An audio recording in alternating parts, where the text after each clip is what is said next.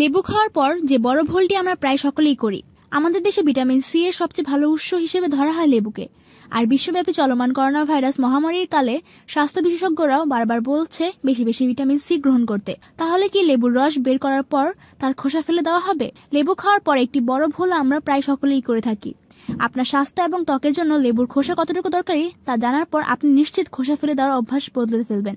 আসুন, জেনে নেওয়া যাক লেবু ও খোসার উপকারিতা ও ব্যবহার সম্পর্কে। পুষ্টি সরবরাহ। লেবুর রসের মতো খোসাতেও রয়েছে প্রচুর পরিমাণে vitamin, calcium, fibre, potassium, magnesium এবং ভিটা ক্যারোটিন এক কথায় বলা যায়, রসের চেয়ে এর খোসা প্রায় পাঁচ থেকে দশ গুণ বেশি পুষ্টি সরবরাহ করতে পারে। প্রায় একশো গ্রাম লেবুর খোসায় একশো চৌত্রিশ মিলিগ্রাম ক্যালসিয়াম, একশো ষাট মিলিগ্রাম পটাশিয়াম, একশো উনত্রিশ মিলিগ্রাম ভিটামিন সি এবং দশ দশমিক ছয় গ্রাম ফাইবার রয়েছে। হাড় মজবুত করে। আপনার হাড় মজবুত ও হাড়ের স্বাস্থ্যগত উন্নতি করতে পারে ভিটামিন সি ও ক্যালসিয়াম। লেবুর খোসার এই পুষ্টিগুলো প্রদাহজনিত পলি আর্থ্রাইটিস অস্টিওপোরোসিস রিউমেটোয়েড আর্থ্রাইটিসের মতো রোগ প্রতিরোধ করতে সহায়তা করে। ক্যান্সার প্রতিরোধক লেবু রসের মতো লেবুর খোসাতেও সাইট্রাস, বায়োফ্লাভোয়েন্ট সমৃদ্ধ, যা জারণ চাপের মাত্রা কমাতে উল্লেখযোগ্য অবদান রাখতে পারে।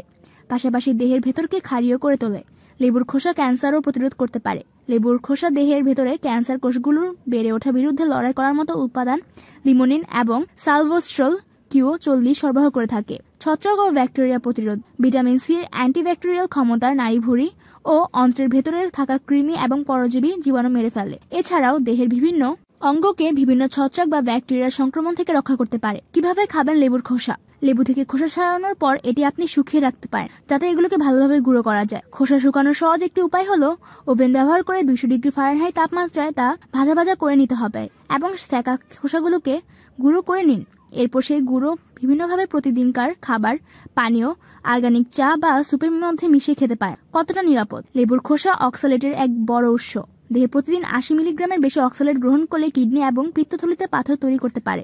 আর এক চা চামচ লেবুর খোসাতে প্রায় পঁচিশ মিলিগ্রাম অক্সালেট থাকতে পারে। তাই প্রতিদিন সর্বাধিক ও তিন চা চামচের বেশি লেবুর খোসা গ্রহণ করা উচিত হবে না। ত্বকের যত্নে লেবুর খোসা। খাবারের পাশাপাশি ত্বকের জন্য বেশি উপকারী লেবুর খোসা। এক মুঠো লেবুর খোসার সঙ্গে এক থেকে দুই কাপ চিনি ভালোভাবে মিক্সড করে এরপর আপনার ত্বকের ধরন বিবেচনা করে তাকে কয়েক ফোঁটা অলিভ অয়েল মিশিয়ে নিন। তৈলাক্ত ত্বকের চেয়ে শুষ্ক ত্বকে বেশি তেল দিয়ে মিশ্রণটি তৈরি করতে হবে।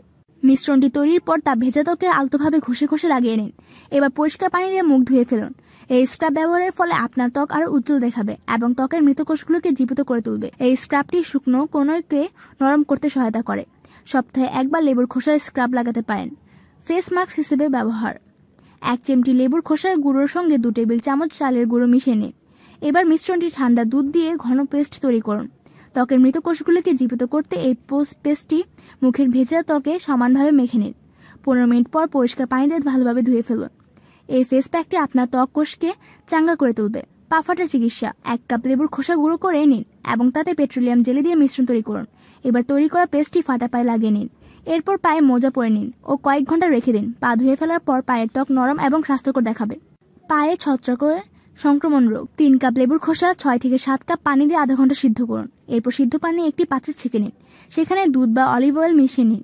এই মিশ্রণটিতে কমপক্ষে তিরিশ মিনিটের জন্য পা ডুবিয়ে রাখুন। এরপর পা, পানি দিয়ে পা ধুয়ে নিন এবং ময়শ্চারাইজার ব্যবহার করুন। নিয়ম করে এই কাজটি করলে সংক্রমণ দূর করতে সহায়তা করবে। নখ সাদা রাখতে। যারা নখ বিবর্ণ হয়ে যাওয়ার সমস্যায় ভুগছেন তাদের জন্য লেবুর খোসা বেশ উপকারী। এক মুঠো লেবুর খোসা পেস্ট করে নিন এবং তা কয়েক মিনিটের জন্য বিবর্ণ নখগুলোতে ব্যবহার করুন। এরপর পানি দিয়ে ধুয়ে ফেলুন। এ ধরনের যত্ন আপনার নখগুলোকে স্বাভাবিক রং ফিরিয়ে আনতে সাহায্য করবে। গৃহস্থলীর কাজে লেবুর খোসার ব্যবহার।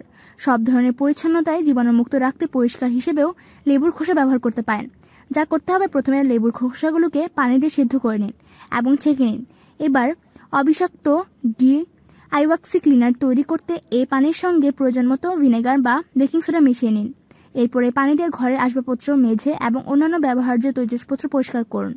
লেবুর খোসা থাকা রাসায়নিক পদার্থগুলোর দাগ তুলে ফেলার ক্ষমতাও রয়েছে। দুর্গন্ধ দূর করতে। ফ্রিজ, বদ্ধ ড্রয়ার কিংবা ট্র্যাশ ক্যান ইত্যাদির ভেতরে তৈরি হওয়া দুর্গন্ধ দূর করতে লেবুর খোসা বেশ কার্যকর। লেবুর খোসা, মাইক্রোওয়েভ কাটার বোর্ড এবং অন্যান্য ব্যবহার্য পাত্র পরিষ্কার করার ক্ষেত্রে জাদুর মতো কাজ করে থাকে। বাটির পানিতে কয়েকটি লেবুর খোসা দিয়ে কিছু সময়ের জন্য মাইক্রোওয়েভের ভেতরে রেখে দিন। এটি মাইক্রোওয়েভের ভেতরে দুর্গন্ধকে সতেজ গন্ধে পরিণত করবে। আর কাটার বোর্ডকে জীবাণুমুক্ত করতে লেবুর খোসার সঙ্গে লবণ মিশিয়ে ঘষুন। তারপরে ধুয়ে ফেলুন। রুম ফ্রেশনার হিসেবে।